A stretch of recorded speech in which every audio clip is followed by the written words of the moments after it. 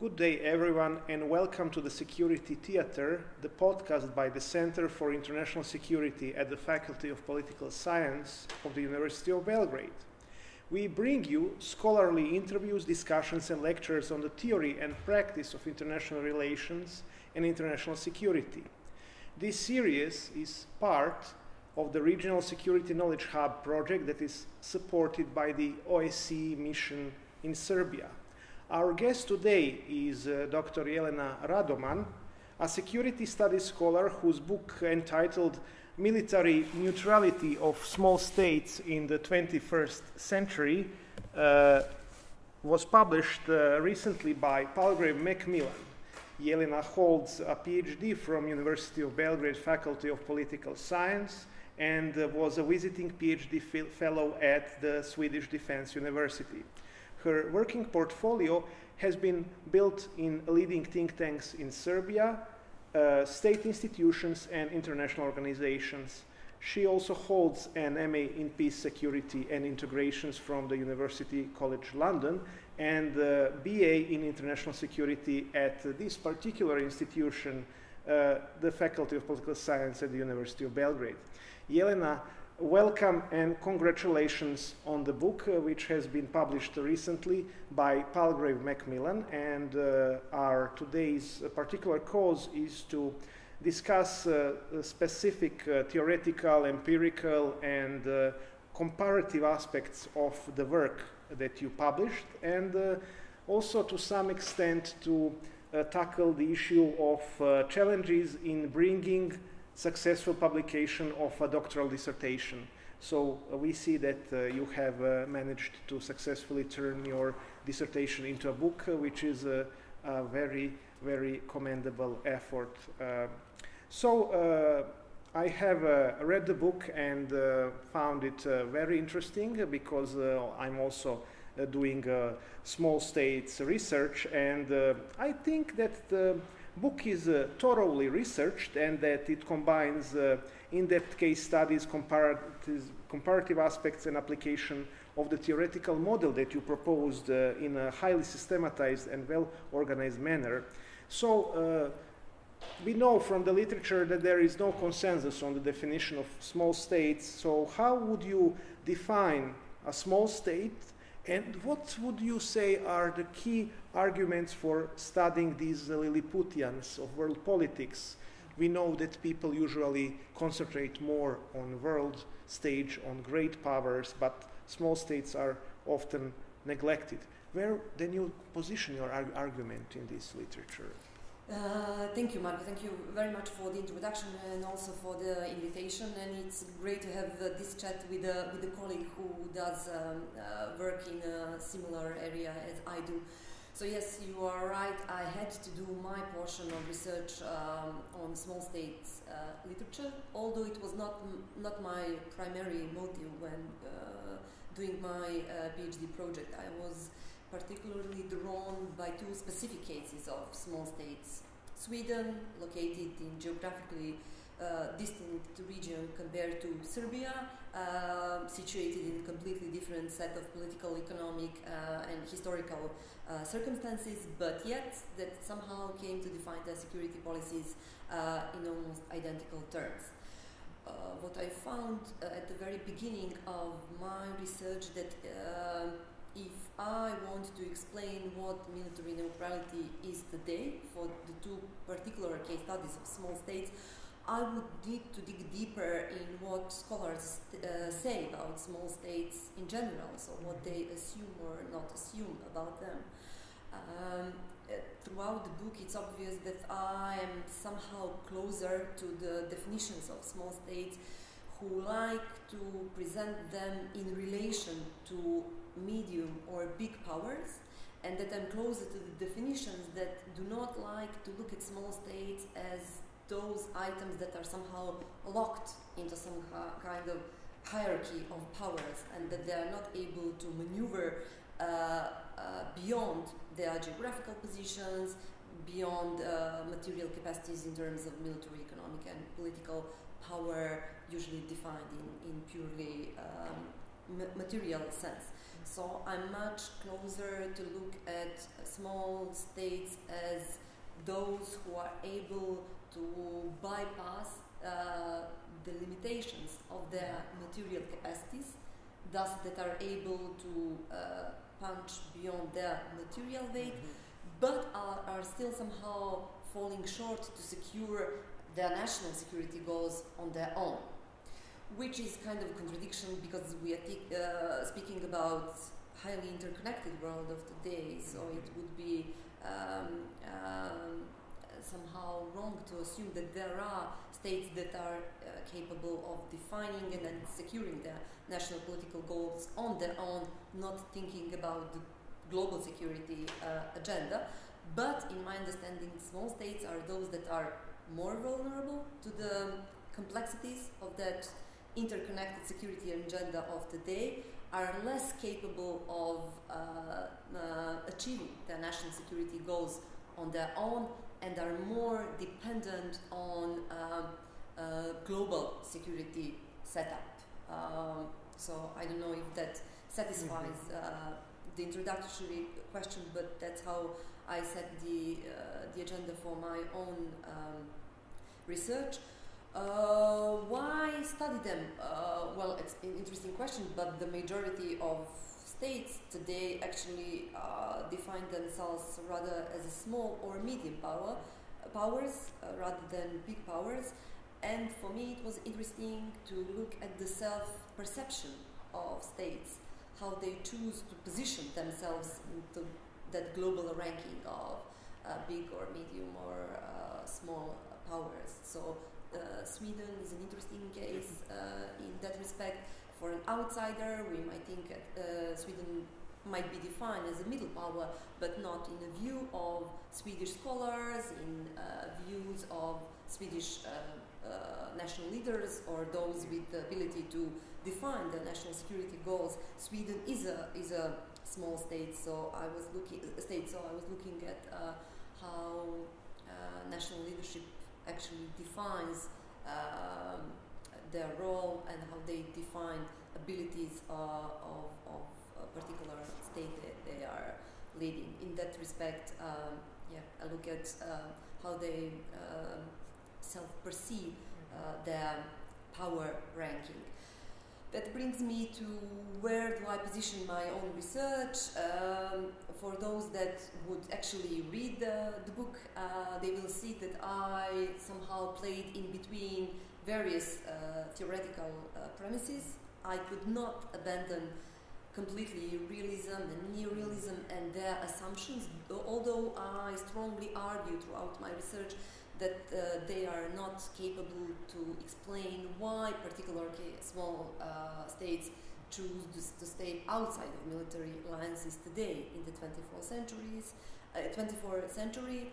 Uh, still, I could not completely disregard uh, some of the benefits that that conceptual framework brought to the research of military neutrality and non-alignment. So I'm still counting on threat perceptions. Mm-hmm. I'm still counting on how political uh, and military leadership uh, see uh, the uh, military power in relation to the uh, geographical and other uh, settings.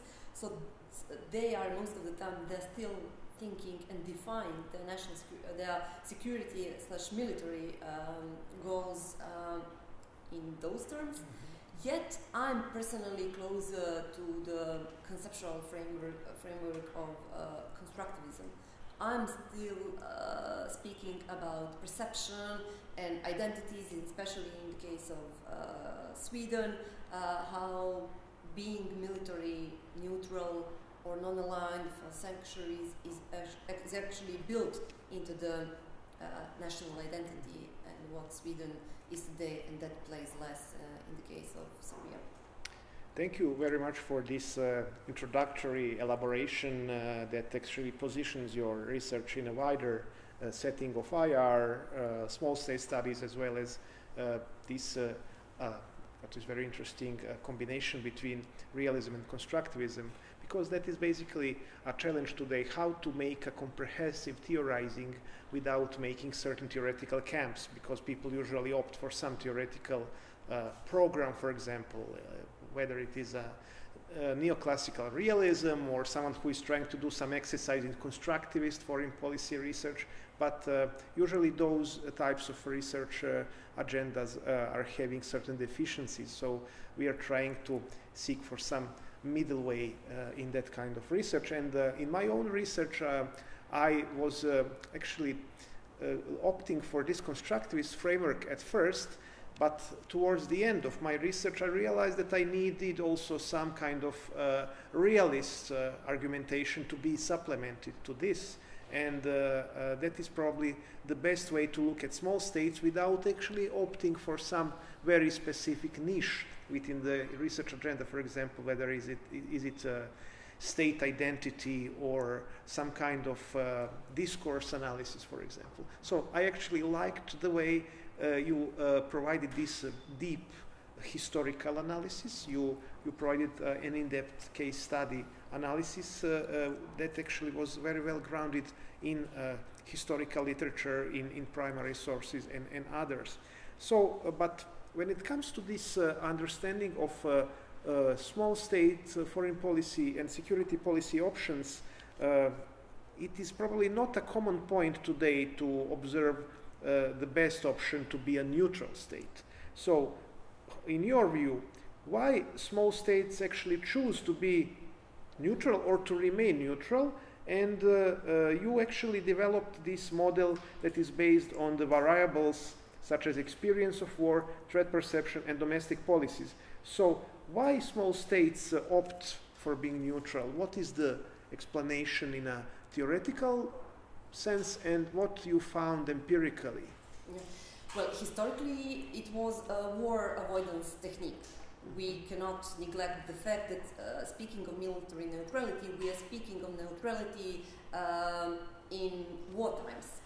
So, small states were basically trying to hide away from conflicts where they would be dragged uh, and where they found themselves not gaining uh, much, that it's not their uh, uh, war to, to handle, and where and actually being uh, exposed to a significant amount of risks. Most of the time, historically speaking, small states did not have that luxury of actually remaining military neutral, being dependent or actually seeking protection of big powers and seeking alliance membership uh, actually they were meant to be involved in the conflicts uh, even when they were trying to hide away. Um, uh, the Second World War is the best example of how unsuccessful that technique was, and the majority of states that actually uh, try to remain neutral of that conflict fail, uh, failed almost uh, immediately from the very beginning, and then some others uh, actually managed to maintain neutrality, but some of them uh, at the at the expense of highly uh, controversial conduct of, of neutrality. Uh, that was historically speaking. What I'm trying to do in my own research and why I, I put a very specific um, definition of the time frame that I'm looking at, that is the present moment, uh, uh, why I'm looking at military neutrality as um, security option as of today, um, I'm not trying to say it's a war avoidance technique anymore because the uh, security agenda and the whole contextual setting is uh, significantly different compared to what those researchers who did historical account of military neutrality actually explored before us. Before us. Today, um, uh, states are uh, have the luxury of being uh, politically active, of being perceived as being politically aligned, and still having luxury of staying outside of military alliances. So there is um, still a small niche of where they, from different reasons, as I explained in my book, Sweden from historical reasons and Serbia rather from uh, internal political reasons still uh, say no to the membership uh, to military alliances uh, with the luxury of saying we, this is not a, a, passive security strategy, this is not a war avoidance technique, mm-hmm. and we are not saying uh, we are not staying politically neutral to the issues and global security agenda, but from different reasons we are saying no to the membership um, to military alliances, and then from mm-hmm. different reasons and from different uh, historical backgrounds, Sweden uh, does that from uh, its own historical track record, and Serbia does that on a completely different set of premises. Thank you for putting emphasis on this historical aspect because truly uh, small states uh, uh, had their significant episodes of military neutrality. For example, let, let us think about Belgium, which was kind of left on its own during the First and the Second World Wars, and then for example, some other states which were trying in the interwar period some options of uh, aligning with other small states. So I actually find interesting this uh, study by, by Rod Robert Rothstein on, on, small states and alliances, where he studies also Serbia as an example of a small state which was, uh, in some interpretations, instrumental to the uh, emergence of the First World War. On the other hand, it was a victim of the First World War and the great power games. But uh, speaking of, uh, of Serbia, of Yugoslavia, and other states uh, which were non-aligned, uh, Uh, you uh, draw this uh, difference between neutrality and non-alignment and how actually non-alignment and neutrality are, are defined today because when you say for example that small uh, sorry not you but, but when people say that some state is uh, non-aligned they would think of a state which has some quality of a Yugoslav mm. foreign policy and for example in some newly formal interpretations of uh, neutrality. For example, in the case of Sweden, uh, it would be said that Sweden is right, non-aligned. So can you maybe try to, to kind of uh, bring us some definitions and how you actually delineate between neutrality and non-alignment uh, first contemporarily? Of all, to, to make the conceptual confusion uh, a bit smaller, uh, in my understanding, the non-aligned movement in its all greatness and the very peculiar um, quality it brought, but very specific a historical moment of the uh, of the Cold War uh, was not an example of military neutrality nor example of military non-alignment. Mm-hmm. It was uh, a political movement bring, uh, which strived to present itself as a third wave and as a mm-hmm. political alternative to the Cold War hostilities between the, the great powers and it was not uh, uh, my ambition to assess the validity or how successful that attempt was, etc., etc. Mm-hmm. But what I do argue is that former Yugoslavia um, did uh, play a significant role uh, in that movement and used the movement to, blink, to, uh, to build political platform of its own. Sweden uh, did something also very peculiar uh, in the same historical uh, setting, uh, setting also involved with that, uh, with that movement, but building its own political portfolio also on the premises of military neutrality and also uh, pointing to how flawed is the whole, the whole concept of mm-hmm. um, two superpowers being um, confronted on so many levels political, economic, and military, and how that spilled over, and how that actually uh, harmed the, the broader uh, international setting. Today, uh, neither uh, Sweden or Serbia define their position as military neutrality, but rather as military non alignment. Mm-hmm.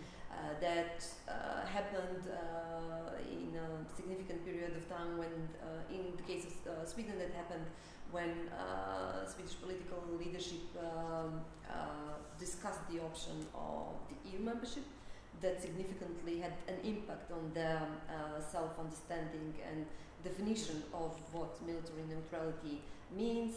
If we read uh, the conceptual uh, framework and how positioned Serbian uh, military neutrality is, it, it is also understood and actually defined in the terms of military non-alignment. We are not members of the military alliances, which does not uh, prevent the position of politically active course. So Mhm. military neutrality uh, uh, throughout the historical, uh, broader historical period that I attempted to sketch uh, some um, uh, the most significant authors and the work that actually did a much better review of broader historical context that I uh, ever had an uh, ambition to do.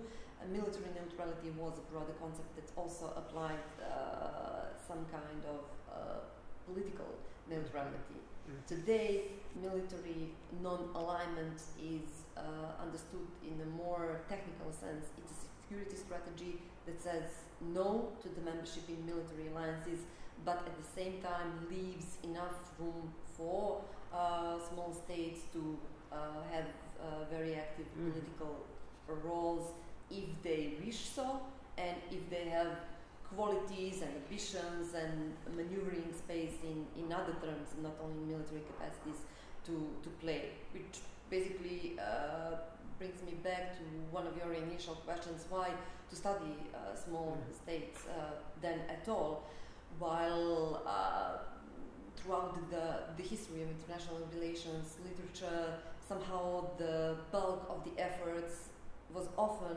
concentrated on big powers and how uh, their scholars and their leadership came to big ideas that then uh, attempted to define uh, the world setting for better or for worse. Uh, it seems that small states are those that, while trying to be uh, creative, trying to basically survive in a very complex setting, can bring very novel, very fresh, and very vivid ideas. Sometimes they uh, have an ambition, uh, an ambition not uh, merely uh, a survival, but sometimes it's a status Mhm. seeking that was Mhm. excellently explained and pictured in the work of uh, some of our Scandinavian colleagues, for example, on the Neumann case, on yes. the case of, and Carva- de Carvalho. yeah, yeah. The case of Norway, uh, what the states would do with that status uh, once received, uh, they left for some further research. But for me, it was it was a very interesting idea. Some actions are simply for the status seeking, Mhm. and then we'll see uh, what will come out out of that. I think it's very important that you draw this uh, difference between political and military aspects in our uh, closer understanding of what neutrality and non-alignment are, because uh, that leads me to this uh, question of when the military neutrality is possible or desirable for a small state, because you mentioned this aspect of uh, survival, uh, when the international environment dictates the option of survival for a small state, then is it better for a small state to remain or become military neutral or to try to, to uh, bandwagon or to join some alliance or some of the stronger uh, either neighbors or some powers within the international system? Because in, in this uh, classical literature on small states, one of the comments would be that uh, it's not good for a small state to join, but to try to either balance or to become neutral. Yeah, well, um, while doing this um, uh, uh, review on what historical account of neutrality was, I saw that uh, one of the major efforts was invested into discussing what kind of circumstances are good or bad for uh, states that uh, strive to stay military neutral throughout the history. So authors were pretty much uh, preoccupied. So um, is it better to have a bipolar uh, international setting or multipolar, etc., etc., uh, and all kinds of external and internal um, circumstances that would actually allow small states to be successful in an attempt of military neutral. So one of the uh, some of the most um, relevant internal circumstances where you need to have um, a population that actually supports the idea. You need to basically uh, offer something to hostile great powers that would actually prevent them of overriding your military neutrality. It's either you build your military capacities to the level that would actually harm the potential attackers, so they, they do not try to uh, to um, attack you, or, and things like that. So uh, authors were uh, playing with a number of case studies, mostly on the examples of the First and the Second World War, Mhm. because they were so rich uh, in the examples of the um, uh, of the states that most of the time failed uh, in an attempt to stay neutral of the global context.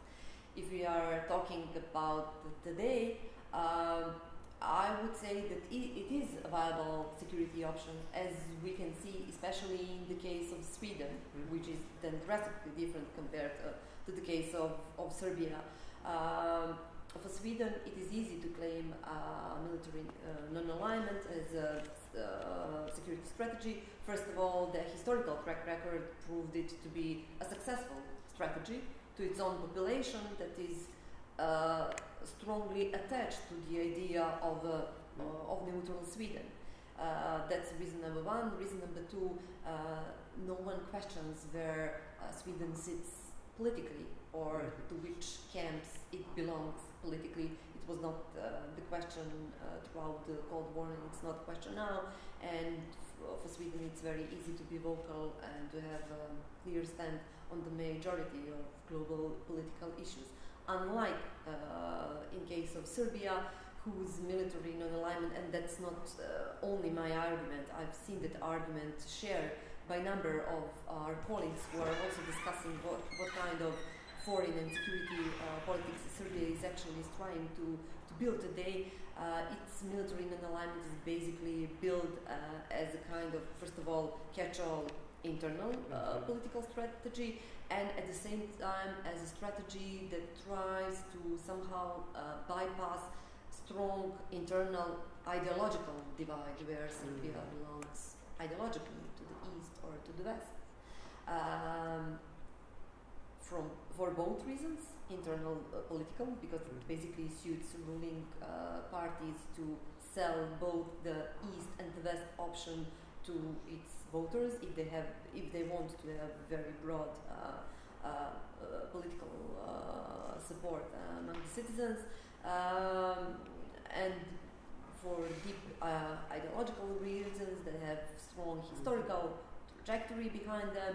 Serbia is unable to play very active political role because it's very hard to be vocal and to have a clear stand on a number of, of um, highly uh, contested political developments. For example, uh, Russian aggression uh, on Ukraine being one of them. Uh, and in this sense, you already touched upon uh, this uh, impact of domestic and and external factors in shaping military neutrality or non-alignment as a security policy. Uh, so, and uh, that leads us to the two case studies that you elaborated on. It's Serbia and Sweden. So, uh, what I would like uh, to ask you now is uh, how would you briefly assess the relative relationship between internal and external policy factors in the shaping of Serbia's and Sweden's uh, security policies. So uh, maybe we can uh, try to elaborate some historical, key historical uh, patterns or uh, maybe also to touch upon briefly on the more contemporary uh, aspects of uh, party politics in, in shaping of the security policies.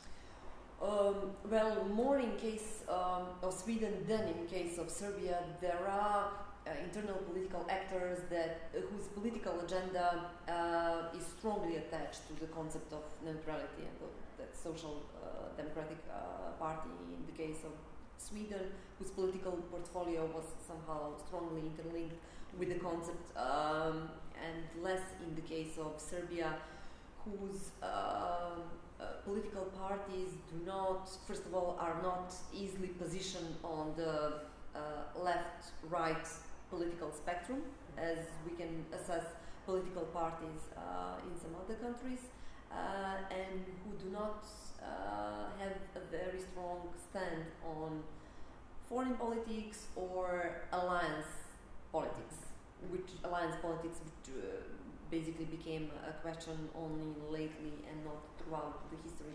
There are some other uh, issues that are that are more defining. for the political parties um, in Serbia. Uh, I did not find that question as a, a, huge factor in inter-party politics, neither in Sweden nor in Serbia. NATO membership is not a burning issue uh, during the elections, uh, uh, neither in Sweden nor in Serbia. Not are political parties in any of the two cases clashing over the alliance membership or the alliance politics in general. There are some other uh, issues that are uh, basically they are um, uh, they are struggling with, which does not mean which does not imply that they political parties do not have uh, their own views or that there are no clear division who are pro or against possibility of NATO membership, for example, in, uh, in the case of, uh, of Sweden, but I did not uh, find internal political party politics to be uh, defining uh, in any of the two cases. Mm -hmm. it's rather an interplay between um, historical trajectory, but more how historical trajectory is being interpreted and mm-hmm. retold by those who have power to define the narrative and to uh, frame uh, historical lessons learned. Uh, in the case of Sweden, that's pretty straightforward case because the same successful story of Swedish neutrality has been retold throughout the centuries. So it would be very hard to challenge the, the already mm-hmm. established narrative and to say, well, it's not such a successful project because it is. And then uh, ideologically very strongly interlinked with the self perception of who Swedes are. Mm-hmm. And it's a bit different um, in the case of Serbia, but uh, we as an observers, we do um, witness nowadays how the historical narratives are being presented and how only particular historical episodes could, could be picked from the whole trajectory of historical learning and then the whole narratives and uh, mythology of Serbia being either a loser or a victor of historical events then could be built based on which episodes you choose and then how you build the whole narrative around it. Um, still, I do not think that uh, the, that whole project of narrative remaking or what to make of uh, Serbia's distant and the most recent history is made for the purpose of convincing the citizens for or against NATO membership, but because that's not yet on the agenda, that's for a, a, a bit broader purpose of um, uh, convincing Serbian citizens we are the victors or we are the losers or we are the one who are being attacked uh, all the time or we are the one who needs to be uh, armed and rearmed armed and whose military needs to be strong enough to defend ourselves because we are basically in a hostile regional settings. And this is not me assessing uh, mm-hmm. the regional and global uh, uh, setting of Serbia but that's basically how the narrative is being uh, told. So narrative, that is one of the keywords and it, it brings us closer to this constructivist mm. part of your analysis which actually draws the next question, uh, which is if uh, military neutrality is a socially constructed uh, thing, and uh, if uh, it is a socially it is, if it is a social construct, so for what purposes states use neutrality and uh, how do they bring their own state identity onto the world stage through that socially constructed fact. You mentioned this uh, act of persuasion, basically that uh, it is constantly reenacted uh, uh by uh, invoking certain narratives, certain parts of history, and uh, it brings probably one of your um, variables, which is this historical experience of war, and how this relates to the projection of the international identity of a small state. But, well, first of all, uh, for what purposes states can and actually do use uh, project of military neutrality or non-alignment rather in today's terms well uh, it could be uh, used as a platform to build position of moral superpower mm-hmm. which Sweden did for decades and position itself as somehow distant uh, to the political west although it was constantly perceived to politically belong to the vast campus uh, of states, especially during the Cold War, but still as a moral superpower that can actually preach the United States of uh, the war in Vietnam. Mm-hmm. Uh, it could also, um, military neutrality could be used um, as a political platform to still present yourself as something peculiar and bit alternative that I think Serbia is trying to unsuccessfully present itself, at least in the uh, in the context of, of, the regional affairs.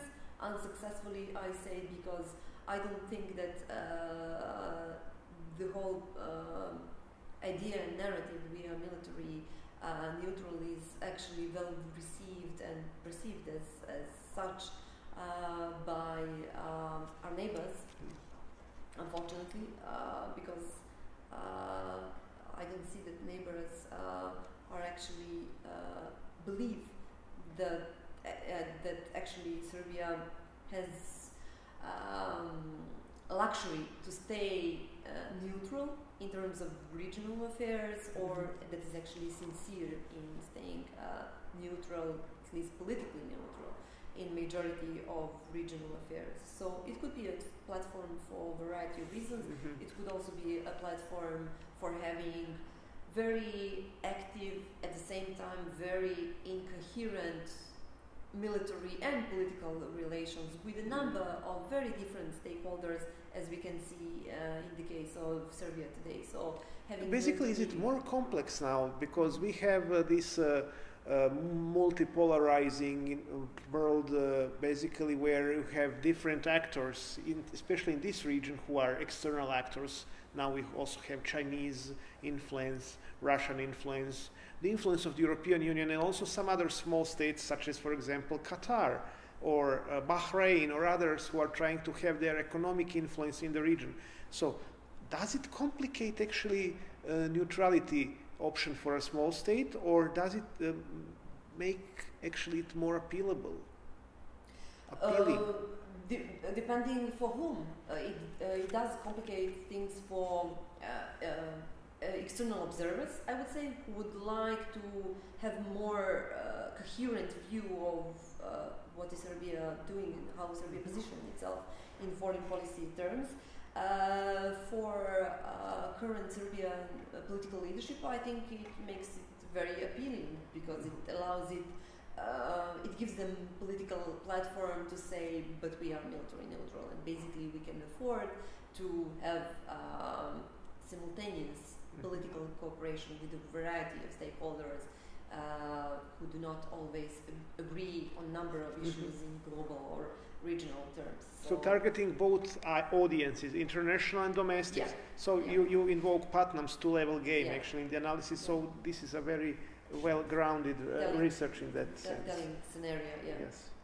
Uh, so this brings us uh, almost to, to the end of uh, our, our discussion today. Uh, and here I would like to, to ask you about how do you see the possibility for uh, security policy change for a neutral or non-aligned state. For example, how would you assess the possibilities for change of uh, neutrality in Sweden and in Serbia? And uh, what would need to happen in order for a state to change, to shift towards uh, military alliance? Well, uh, God forbid, the global conflict of uh, uh, alongside very well defined um, uh, political and military uh, lines that would actually push the states to one or another uh, camp, whatever the camps of, or alliances of any future possible war would be. Uh, but at the moment, I see it as a plausible strategy as it's being mm-hmm. used on different grounds and for different reasons uh, in the case of, of different, different states. Um, as long as uh, there, there are multiple forums that allow political and military cooperation uh, other than pure military alliances. So let us not speak only of NATO. There are mm-hmm. security cooperation uh, platforms such as OSCE, such as Council of Europe. The EU uh, could be seen as a, security alliance of one kind, and we can discuss if a concept of alliance membership is made be applicable to the membership uh, into the European Union. Maybe we can even mm-hmm. discuss if uh, that's uh, one of possible uh, if it's conceptually possible to apply that concept to the membership uh, in the European Union. So as long as uh, military non-aligned states have enough for us to be engaged with and not to stay isolated because it's not an isolationistic uh, politics of today, uh, then I think it's, a, it's viable and it will actually survive. Uh, these are very interesting times uh, because uh, uh, usually uh, when we have uh, uh, some international crisis, states usually probably try to become neutral. Or when you have some tipping points, for example, I don't know, for I don't know, maybe Serbia or for some other country, maybe they could uh, think about uh, keeping their uh, political alignment and military neutrality. We see that there are precedents for such policies, at least uh, in the cases uh, that you mentioned, uh, such as Sweden or countries such as Ireland, Austria, for its historical reasons. But definitely, it it keeps the option, in my view, of neutrality an appealing one. But still, in the in the sense of small states literature, uh, uh, it uh, is a curious position because those small states which are military neutral they haven't resolved completely the integration autonomy dilemma, such as uh, the one uh, posited by some scholars about 20 years ago. For example, uh, for most of the Western Balkan small states, their option was full integration, and autonomy is then uh, discarded a bit, but then they try to keep this position of uh, uh, seeking influence within the European Union framework and then keeping those influential strategies. And then we have Serbia, which is a military neutral small state, and then it has its defensive security and foreign policy. So, in, in this sense, uh, at least this region uh, provides us with uh, examples of both varieties of small states. So it is up to the probably historical experience and, uh, and the perceptions to, to have the answer which strategy is better. But then probably small states are uh, given some uh, big decisions to, to make when, when time comes. So in this sense, how would you position then your, your research and uh, the key takeaways from your book within the broader uh, IR discussions and what would be some directions for further research that you would recommend uh, uh both uh, small state scholars and other interested colleagues? Well, I think I was uh, honest throughout my work that it's just an attempt, first of all, of building an um, eclectic theoretical framework. So, and I'm not claiming that I was highly successful or highly convincing. That's up to the readers or, or um, of, of the book who would uh, say whether it, it offers them uh, enough grounds while my um, moving uh, in between um, major uh, theoretical uh, schools and not sticking to any of them. So it's just an attempt of eclectic theoretical framework. That's one. So maybe it would be good to have someone else who on maybe different premises or with different variables uh, conducts um, similar similar research and not necessarily on the topic of uh, military non-alignment.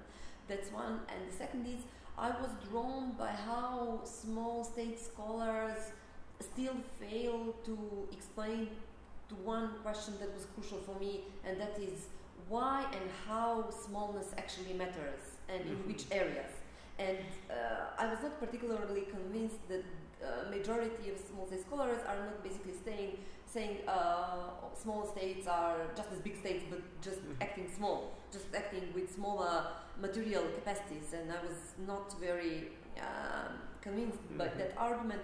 But yet myself, I, I couldn't be very straightforward. I couldn't be very resolute in pointing to yes, this is where the smallness actually uh, comes into Mhm. the into the place. It's very easy to say military neutrality was historically strategy uh, mostly pursued by small states, and yes, today military non-alignment as we can see, is a strategy that small states in their own self-perceptions pursue. But still, I wanted to point to very particular areas that say, yeah, this is where being a small state uh, actually pushes you to this on that direction. I would also like to see more research on security strategies of small states in general, although some, some relevant work has been done there, um, but still not on a very conceptual levels. I still see many case studies that do not necessarily speak to each other, Mhm. as was uh, the case in military neutrality literature. I also find many, many rich and many well written uh, examples of case studies uh, being do- done, but actually not uh, speaking to each other.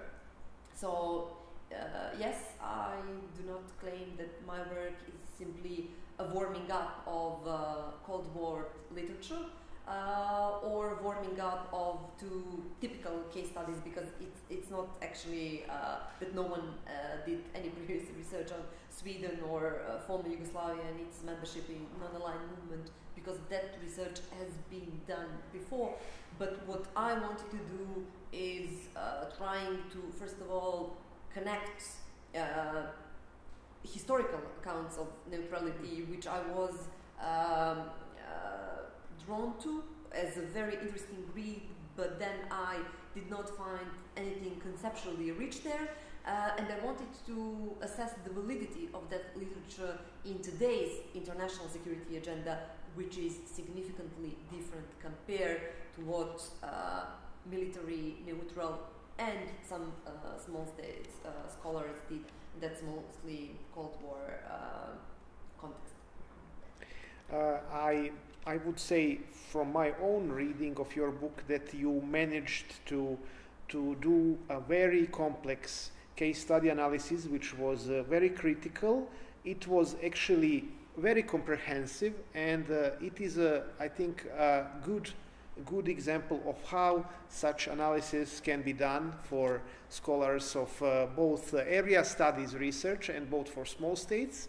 And that book has also its uh, theoretical uh, underpinnings, so I think it's a, a very, very uh, good example of uh, a book that can be example for other, I would say, doctoral students from this faculty here and for other colleagues. So my question then goes uh, to close this, uh, this uh, very interesting discussion about what would be your ad- advice, your key piece of, of advice, how to approach research and writing in English, and how to publish your book uh, with a reputable international publisher.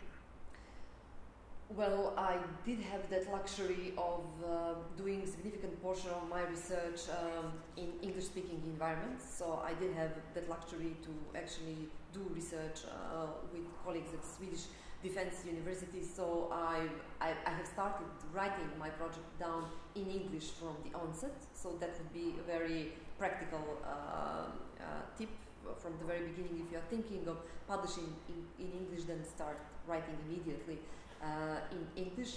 As for publishing your PhD project, um, I would say listen to the editors uh, uh-huh, because we are once uh, we are done with our PhD projects, we are very much consumed by the project and the time we spent with it. With it, at least that was the case uh, in uh, my own case, um, and then it's very hard to look at it with uh, the other pair of eyes and to have a critical review of it, etc., etc.